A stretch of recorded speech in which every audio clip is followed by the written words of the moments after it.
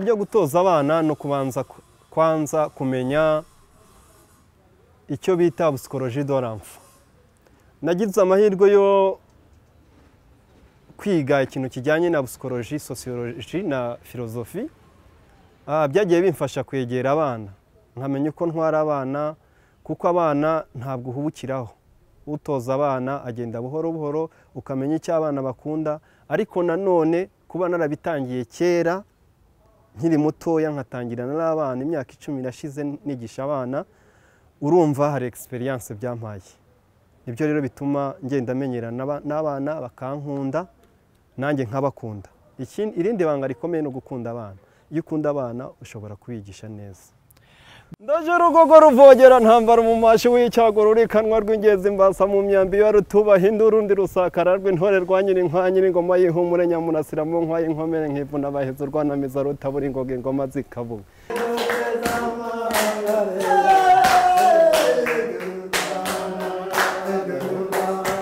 ubu mfite abana bamaze kugera ku kigero ku kigero cyo kuba yabyina rwose abantu bakishima ndetse hakabamo n'abamugabira inka. Bakamugabira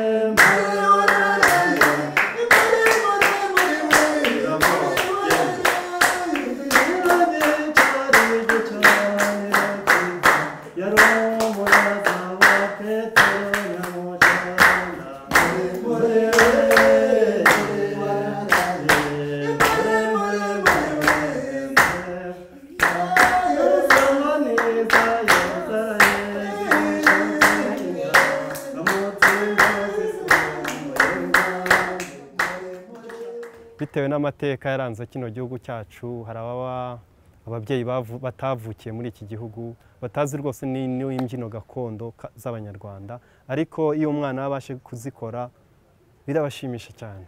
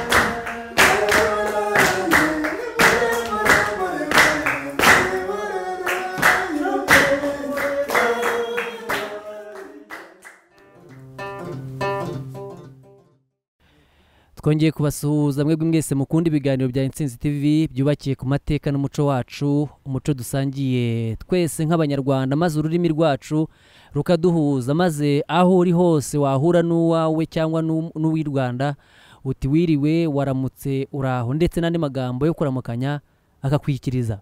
Ndetse n'abagize ibyago ukababwira uti nimwimpore kuko duhuzwa n'ururimi rwacu rw'ikinyarwanda kumva ko umuhumurije. Dusangiye rero umuco wa muco urimo byinshi nanone umuco utunezeza. Uyu munsi wa none ntabwo tujya mu buvanganzo nyemvugo ahubwo tugiye kujya mu bikorwa. Tugiye kujya mu mbyino gakondo turi kumwe n'umutoza ukomeye cyane munyaneza fideli izina n'izina mvuze ritoya ariko araje ajye mu bigwi hanyuma atubwire ibikorwa bye by'umwihariko ni interiviyu igiye kuba iryoshye kuko uyu ni umutoza udasanzwe wihariwe wihariye mu gutoza imbyino gakondo abana bato.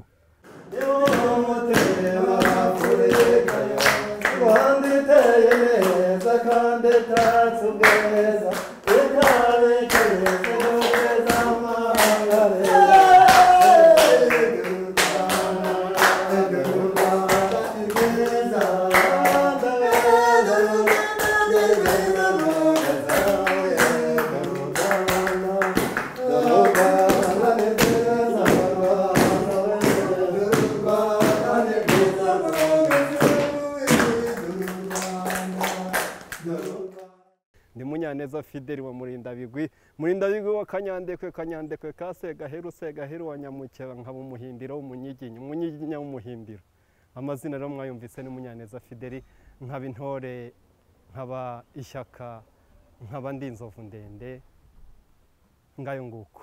Ah, munyaneza fideli ni umuntu watangiye imbyino nyarwanda gakondo mu rwunge rw'amashuri rwa leta rw'i butare yahoze ari groupe scolaire officiel de butare natangiye mu mwaka wa bibiri na gatanu ntangirana n'umutoza ufite ibigwi witwa rudahinyuka ni akazina ni izina ry'ubutore. Izina ry'ubutore rudahinyuka nshimimana alphonse. Niwe wantangiranye muri uwo mwaka arandema ntabwo ari byo navukanye n'ibyo nize ni we wabinyigishije ni we wanyigishije intambwe ya mbere gutemba ndakomeza mu bihumbi bibiri n'umunani anjyana mu marushanwa yahuzaga amashuri amashuri yisumbuye competition interscolaire. Ah, icyo gihe dutwarana igikombe igikombe cya mbere cyari kikinwe mu bihumbi bibiri n'umunani ah, mu marushanwa y'umuco imbyino gakondo. Ah, nyuma yaho yaranjyanye mu itorero rikomeye cyane bitaga inkubito y'icyeza mu mujyi wa kigali ntibyaciriye aho ngaho kuko yanjyanye no mu itorero inyamibwa za erije muri kaminuza nkuru y'u rwanda ubwo twari tugeze muri kaminuza mu mwaka wa mbere. Mu bihumbi bibiri na cumi ni bwo yanshakiye nanjye aho ntoza ko yabonaga ko namaze gutora. Anshakira mu kigo kiri mu murenge wa gisagara bita ecole technique saint kizito isave Ah, nanjye ubwo mba ntangiye umwuga wo gutoza abandi. Ntibyatinze rero muri bibiri na cumi na kabiri natangiye gutoza abana batoya. Natangiriye muri kaminuza nkuru y'u rwanda i butare. Ah, ntangirana nigisha abana b'abarimu bigisha muri kaminuza. Ah, ntangirana n'amakampu. Nkajya mbatoza ntoza mu kigo cy'amashuri abanza n'incuke muri ecole internationale i butare Ah, nkomereza i nyamagabe muri esimu ntoza i nyanza muri ecole technique ecole secondaire c louis de montfort eseni i nyanza ekore de siyanse ecole de science louis de montfort nyanza. Ubundi Ah. hitwa muri eseni muri eseni mpita aho ngaho naho mpakora kampu y'abana batoya.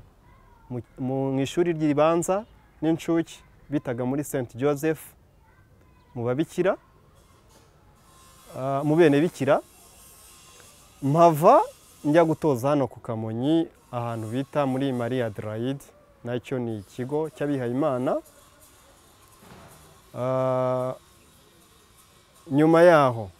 Ariko muri urwo rugendo rwo gutoza nanabyinaga mu itorero rikomeye cyane inyamibwa za ARG imvama nyimbaraga ibanza urugamba rugumanya muracamo nk'inkomere nk'imvura amahirwe na mizo rutabura ingoga ingoma bazihaye imirishyo Cecile umubyeyi. Leandre mucyo. Umuza colombe. Nimunoza kuza rutabonye iki mujyanye n'iki gihe intore y'inyamibwa umunyamibwa inyamibwa inyamibwa inyamibwa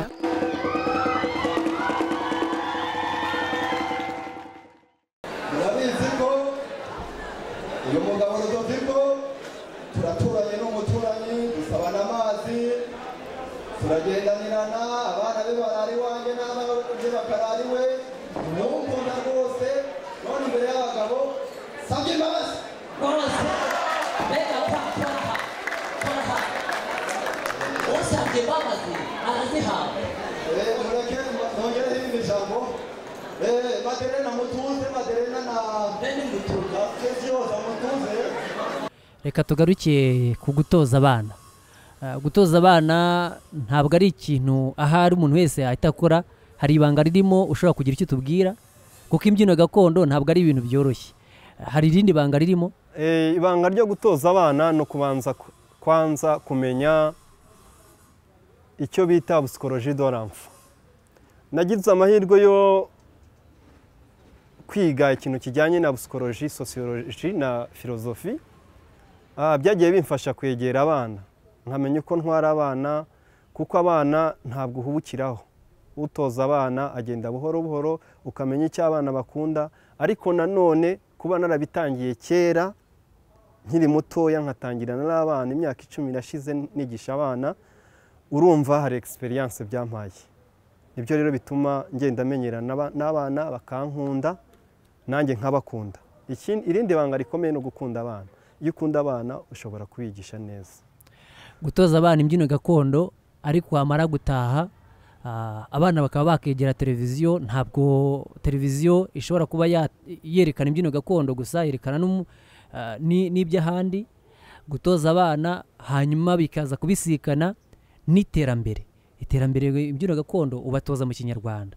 Harimo abana usanga biga igifaransa icyongereza ndetse banakivuga cyane mu buzima bwa buri munsi kurusha ikinyarwanda. Gutoza abana imbyino gakondo ni- ni- n'iri terambere turimo. Urabivugaho iki? Ah, imbyino gakondo gutoza abana imbyino gakondo kiriya kintu ni ikintu gikomeye kuko gituma umwana akura mu mutwe. Bituma umwana ashobora kwishakira ibisubizo. Ashobora kwishakira ibisubizo kubera ko ahura n'ibintu bishyashya atari amenyereye bigatuma bimubera challenge noneho akarwana no kwishakira ibisubizo. Ni ukuvuga ngo rero abana kubatoza imbyino gakondo kandi mu rurimi rw'ikinyarwanda hari aho ushobora kugera ugasanga abana ntabwo bavuga ikinyarwanda neza. Icyo gihe nkange rero nk'umwarimu mpuza za ndirimbo za ndimi zose nkaba navuga mu kinyarwanda navuga mu cyongereza navuga mu gifaransa. Puruvike umwana yumva neza icyo tugiye gukora n'icyo tugiye n'akamaro bimufitiye kugira ngo azakurane indangagaciro. Ikindi ntari nakubwiye ni uko umwana wiga imbyino gakondo n'ikinyabupfura ko natwe tuba twarakuze dufite ikinyabupfura dushobora tubigisha no kugira ikinyabupfura kubaha indangagaciro z'umunyarwanda wuzuye. Munyane eh, iyo ushatse kugira abo wenteresa tubite abakiriya bawe. Ni ababyeyi b'abanyarwanda bafite abana babiri batatu bane batanu bashobora kuba bakemera ko ubatoza imbyino gakondo.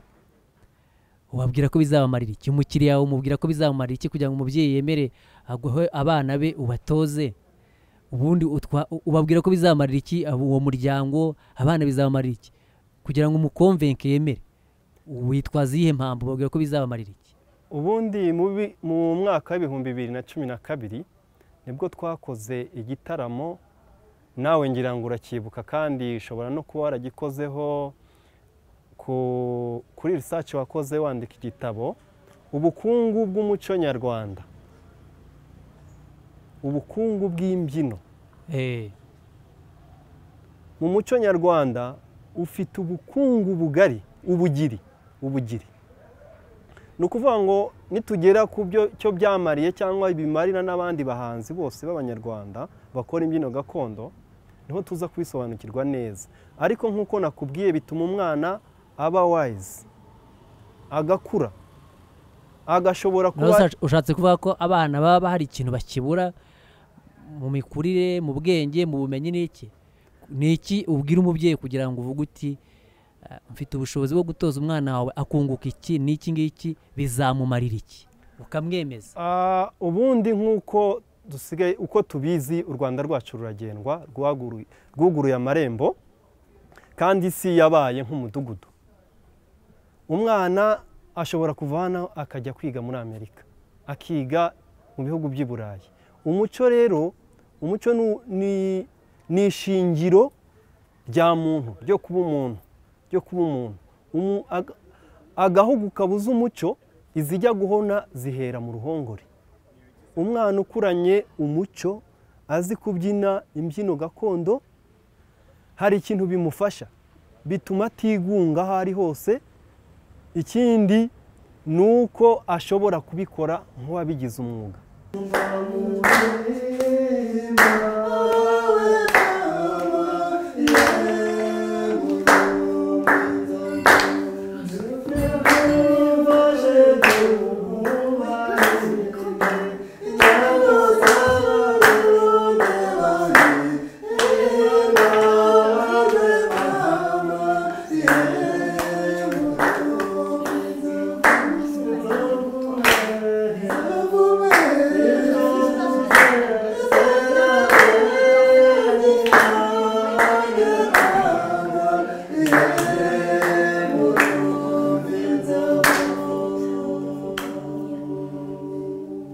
Turacyari kuganira na munyaneza fideli cyane cyane mu bijyanye no gutoza abana bato.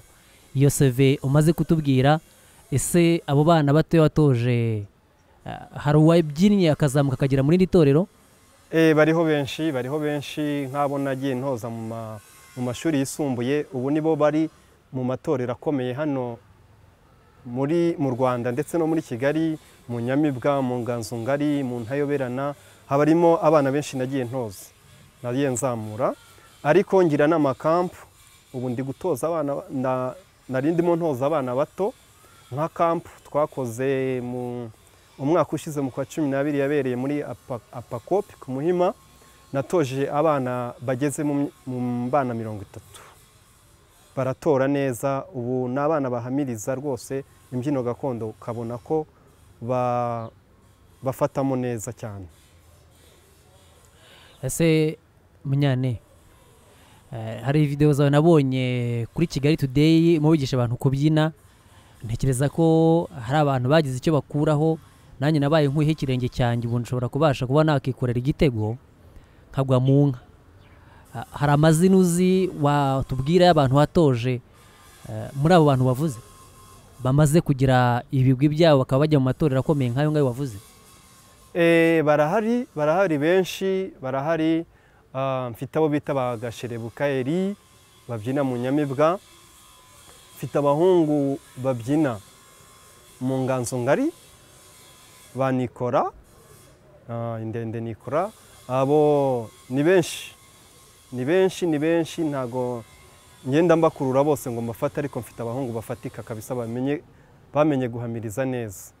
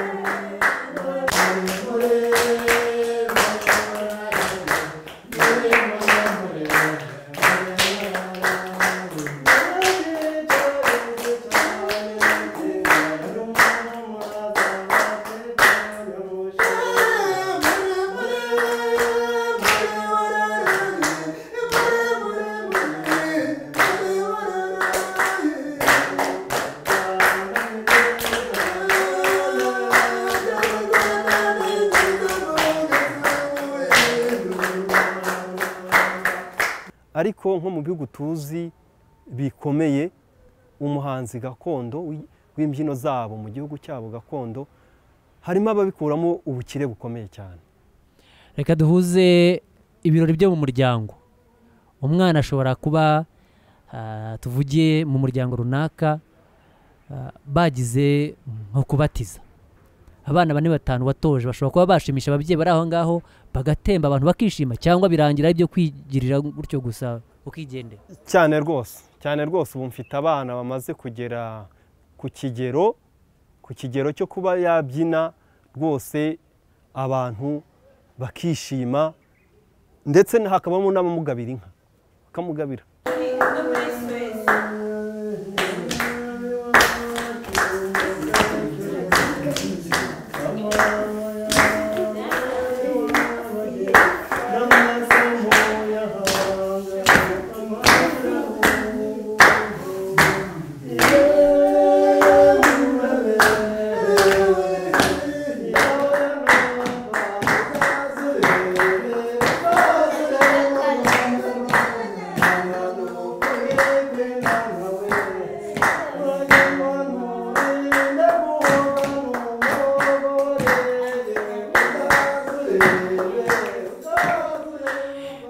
Nkujyane ku kindi gice ariko aho ngaho ngufashije nkatwe muri iyi televiziyo yacu tumaze igihe kinini twibera mu bushakashatsi no mu biganiro byubakiye ku maco n'amateka nta kinezeza nko kuba ufite abana batatu imyaka irindwi umunani ah, hanyuma ukababwira uti numvise akaririmbo sha nimubyine. Ukabona umwana wawe aratemba kongera agatemba ah, ntabigishagasha ntabwo imbyino gakondo zorohera bose niba uri umwenegihugu runaka ariko iyo ubonye abana bawe babasha kweguka aga- mubyimba kongera uranezerwa ntawe bitanezeza. Ikindi nkongereho gatoya bitewe n'amateka yaranze kino gihugu cyacu hari ababa ababyeyi batavukiye muri iki gihugu batazi rwose ni- n'imbyino gakondo z'abanyarwanda ariko iyo umwana abashe kuzikora birabashimisha cyane. Reka tugaruke kuri wowe. Imbyino gakondo ntabwo waba warabaye muri cya cyiciro cyitwa icya ba kadihira mbeteze ukabyina bakaguha amafunguro cyangwa urwagwa ukigendera. Bya- byakumariye. Oya byamariye ikintu gikomeye kuko kuva nava muri kaminuza nkuru y'u rwanda ndetse na mbere yaho ni cyo nakoraga ni cyo nakoraga ni byo bintunze niwo mwuga untunze. Mbasha kwinjiza amafaranga nkabasha kwikemurira bezuwe primaire uh, ndetse nkaba nana- nanakwizigama mu mafaranga nkuye mu kwigisha abana cyangwa mu kubyina. Kuva wabyina wakinjira mu mbyino gakondo. Ni iki kintu gikomeye byakugejejeho ukumva umwuga wahisemo guteye ishema kuvuga uti bya bintu biraryoshye. Nagiye nseruka mu maserukiramuco atandukanye Ah, nagiye muri kenya muri kenya Ah, nagiye mu bihugu byo mu karere njyanywe no kubyina yewe nambutse n'imigabane Ah, kuko fesitivale numva mperukamo ya bibiri na cumi n'umunani namaze i burayi amezi atatu. Ah, ikindi uretse n'ibyo ngibyo bituma mbona umushahara usa nk'uhoraho. Nk'uhoraho ubasha kuntunga ndetse nkaba ntanagira ikibazo ko nta kandi kazi ndi gukora. Kuko ndashaka kubikora nk'umwuga kuko n'ubundi narabitangiye nk'umwuga ntabwo ndi nkora nkaba kadihira mbetezi cyangwa basagihobe babikora gutyo gusa ngo birangire. Urugendo rwawe rwo gutoza by'umwihariko gutoza imbyino gakondo ese ubundi munyane uzi kubyina gusa? Niba hari ikindi se watu- watubonye tukumva Ah, hari ni usibye kubyina nzi kuvuga inka nkaba nzi kuririmba kuririmbaho rwose nagira ngo mbabwire ko umwaka ushize nashinze ntabwo turi buryite itorero ariko ni itsinda gakondo. itsinda gakondo bita inzovu ndende.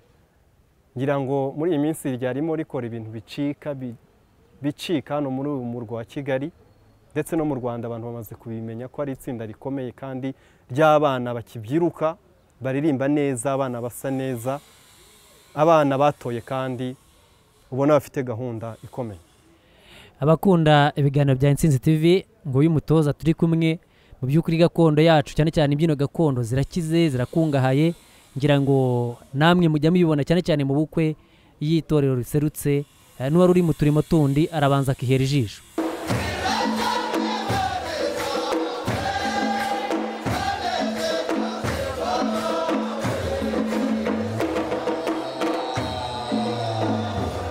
Munyane watubongeho gatoya ku izina ry'inka kuvuze ngo uzi kuvuga inka? Hanyuma ukarisozeraho indirimbo ivuga u rwanda.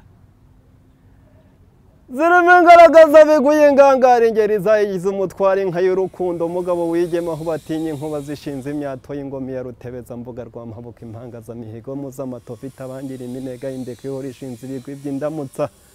Nimugeni ushinjagira nk'abakobwa ba kera idasa nk'inka zo kwikoma izirusha intambwe mu rukenyerero bayihaye ibyera birimo ibyansi bayiha ibyambarwa by'imiringa.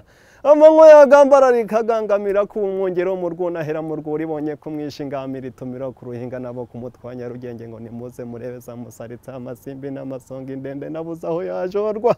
N'impaka barasi n'iyiruti rukeba niyo bita shebuja rugamba n'urugangazi n'impenda rubango n'abarima bampabuka ishyari iturukanye nyamirindi irajya kuyogoza bashibo kwijwi irakura umuheto ku rukara kwa bucukura barahiza kwa bunyunira barahiza. Ngo nimuze murebe rugomba ngo guhorana ingusho. Dusozerezeho utubwiye ko ufite nta n'ubwo uri tubwiye ko tukubona cyane mu itorero mu itsinda gakondo inzovu ndende. Rero tugerekereho akaririmbo kavuga u rwanda twumve koko uko byifashe. Ngenda vuga u rwanda rwanda nziza nkundira nkuririmbe rwanda nziza ubereye abagusura wesheje amahoro. Nzahora nkuririmba ndahereye abagusura rwanda. Iyi ngiyi ibanze kunaniye ariko rero. Rwanda urotengamaye iyi ngiyi irakunaniye munyane. Maze ngo ihitiyemo ikome Tura- turaza kuyishyira ku gice cya nyuma maze kwakira umutoza wagutoje ibi bintu byose. Ndagira ngo ufate akanya unsuhurize abana batoya utoza kugira ngo babone ko tica yabasuhuje. Turi mu gice kijyanye no kubungabunga umuco wacu no kwerekana ibyiza bya- byawo suhuriza aba bana batoya hanyuma twakire umutoza wawe tumubaze ikibazo kimwe cyonyine dusoze. Ah, abana ntoza uruhongore rw'inzovu ndende ndahera kuri iyani iyani sano elisa yanisi ah, shenir amata triza joana joel iyani ryan gayer ah, gigi ah, neria zeri evan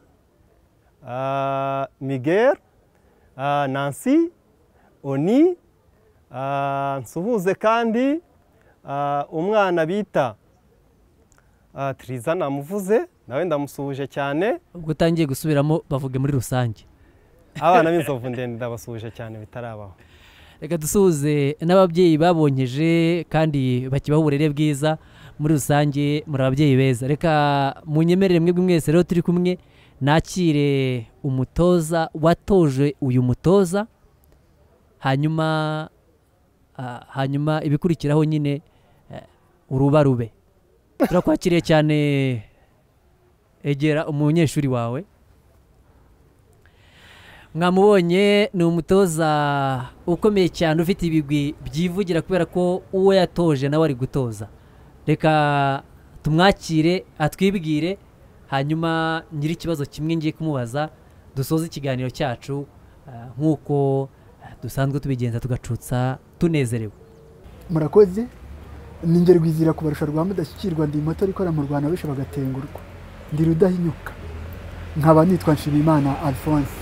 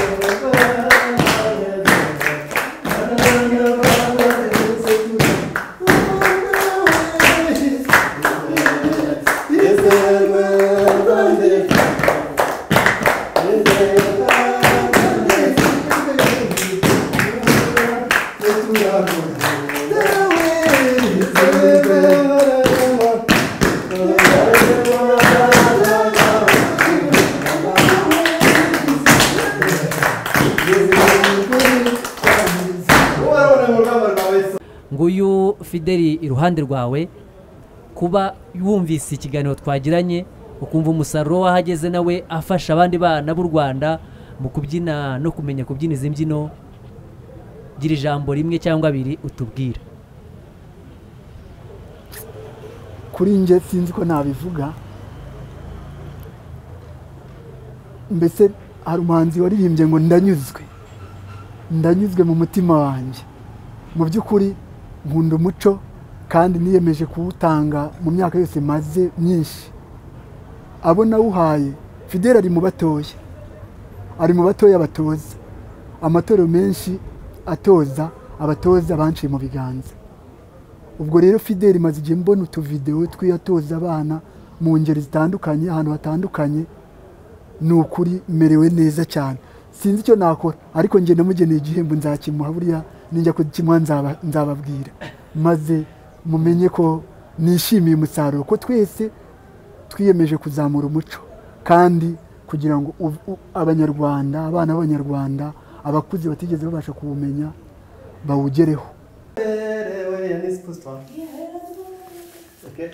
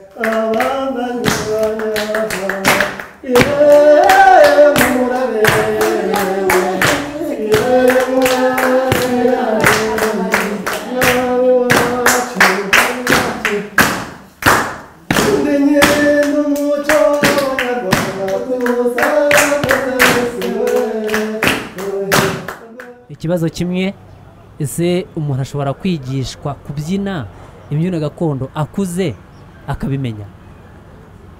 Ni ibintu rwose byoroshye. Umunyarwanda ni we wavuze ngo gushaka ni ugushobora. Nta kigoye kirimo umuco ni uwe uretse nawe uretse n'iyo ataba ari umunyarwanda akaba ari umunyamahanga arawumenya.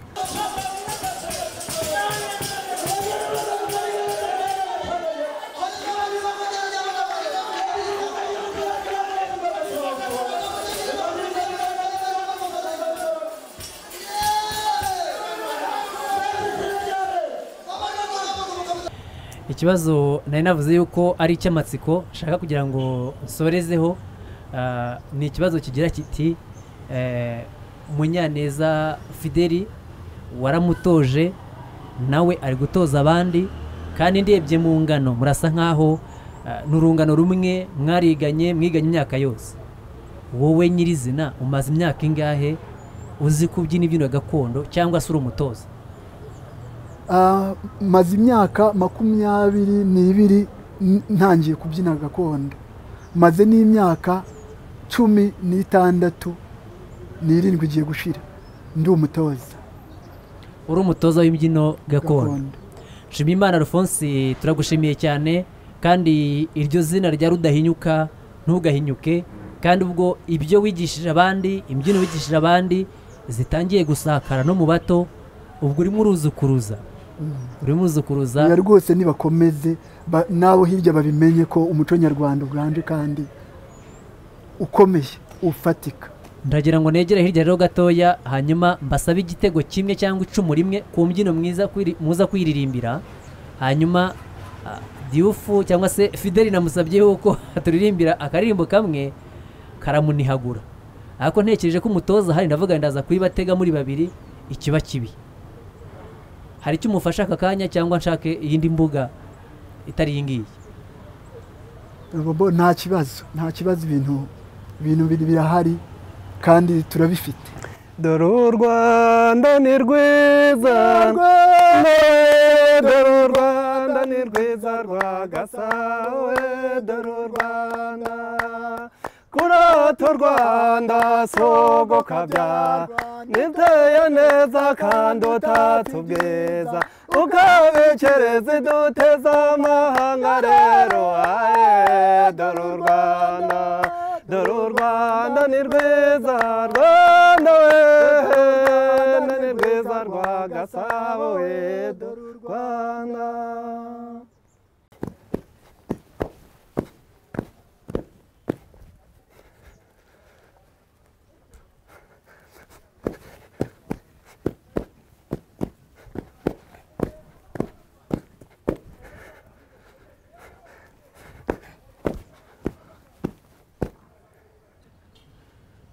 新疆